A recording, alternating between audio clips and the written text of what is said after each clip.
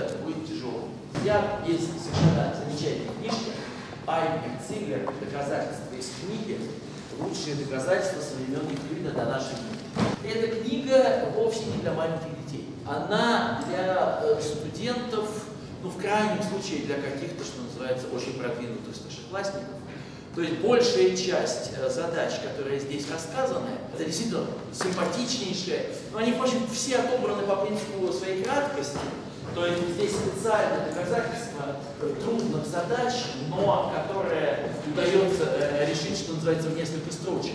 Но эти самые несколько строчек, а их обычно люди придумывали, что называется, очень-очень долго.